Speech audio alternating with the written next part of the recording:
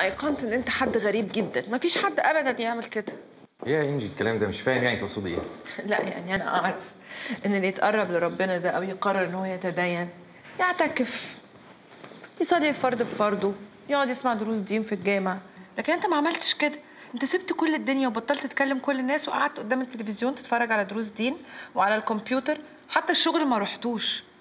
على فكرة أنت خدت إجازة من حياتك. أنت ما خدتش قرار ولا حاجة. الموضوع مش محتاج قرارات يا إنجي. دي حياتي وأنا حبيبها كده. انت بتضحك على نفسك. حياة إيه دي؟ وهو قرب لربنا ده مش حياة؟ قربك لربنا ده شكلي مش من جواك. اللي عايز يتقرب لربنا ده يقرب. وحياته ماشية برضه ما بتقفش. بالعكس ده حياته تمشي طبيعية أكتر بس بالتزام. أنت للأسف حولت موضوع الدين ده لوسيلة عشان تقرب بيها لمراتك. ومراتك عملت زيك كمان. وانت يعني كنت دخلتي جوه قلبي وشفتي فيه إيه؟ سيف أنا لو ما أعرفكش ما كنتش رديت اقابلك النهارده. ده أنت أول حاجة عملتها إنك بطلت تكلمني وكأن أنا محور الشر. ده أنا اللي قلت لك تروح مع فوزي وتسمع. بس أنت اتصرفت بمنتهى العشوائية.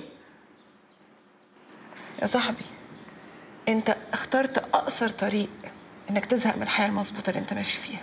خلاص يا انجي خلاص. قفلي على الموضوع ده مش عايز أتكلم فيه تاني. ما هو كفاية كلام في الموضوع ده. أنت جيت ليه النهارده. جيت أتكلم معاكي. اتكلم معايا في إيه؟ جاي عشان إيه؟ عشان اطبطب عليك؟ ولا عشان ابارك لك. بارك لك على الدقن اللي إن شاء الله هتربيها. ولا على الحجاب اللي المدام اتحجبته. ولا على التلفزيون والكمبيوتر اللي قاعد تشجع فيهم عمرو خالد ومصطفى حسني 24 ساعة. ولا إيه؟ على إنك بطلت تكلمني عشان أنا إله الشر. راجل راجل حرام عليك بقى. اتقي الله؟ انجي أنا غلطان أنا جيت أساسا. أنا همشي. لا تمشيش. عايزك في موضوع مهم قوي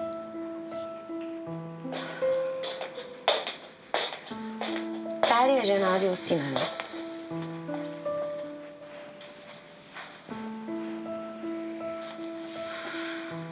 عاملة إيه يا حبيبتي؟ كويسة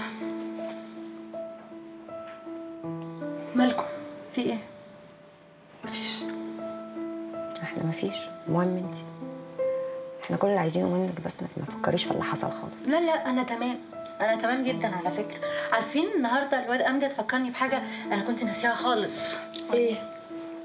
فاكرين لما هربنا من المدرسة علشان نعمل عيد ميلاد هديل الصبح ده كان يوم منيل ب 60 نيلة كنت واخدة جيبة تانية معايا.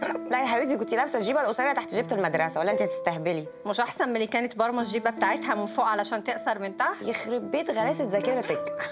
لا والبت هديل البت هديل جت قالت لي أنا حاجزة في الديسكوتيك ده علشان بيفتح بالنهار.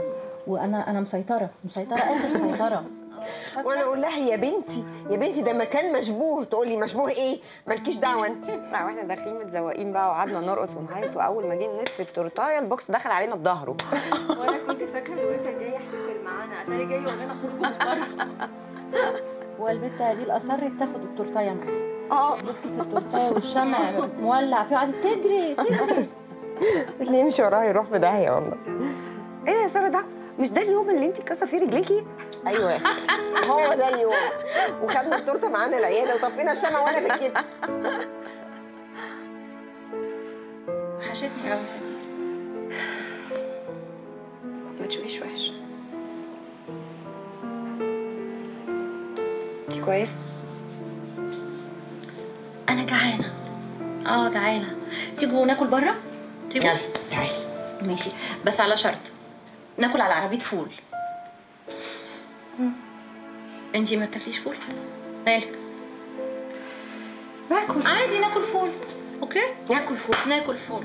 ماشي. بس فين بقى؟ عربية فول. فين عربية فين؟ فول. انهي عربية ما العربيات كتير. آه يا هناك هناكلك فول ما تخافيش